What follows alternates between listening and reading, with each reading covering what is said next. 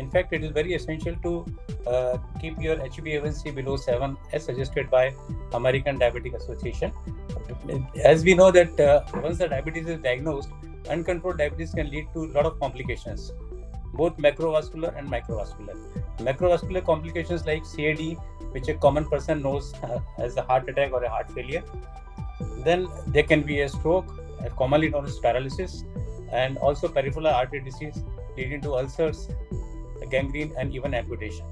The macro and uh, complications include nephropathy, which can lead to chronic kidney disease and renal failure, retinopathy, which can lead to blindness, and neuropathy, which can lead to painful extremities, numbness, and loss of sensation.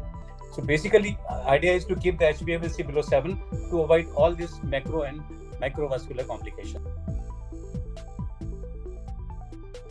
As we know that uh, increased thirst, increased appetite, and uh, weakness is tiredness is definitely a common symptom of diabetes. But once you are diagnosed as a diabetes, it is not necessary that you will be always be feeling tired. As an example, I can give you there are a lot of uh, world-class athletes who are diabetics, like Wasim Akram and Billie Jean King.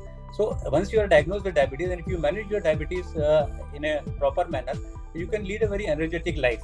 And when I say proper manner means you have to make certain lifestyle modifications like a proper diet as per your uh, dietitian and doctor's advice.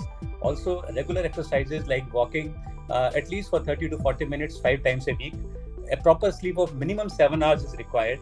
And of course you have to avoid the stress at work work at home and even in social life.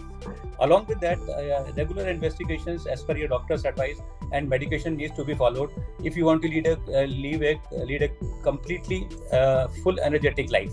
This that all diabetics feel tired at all the time is definitely a myth and not to be believed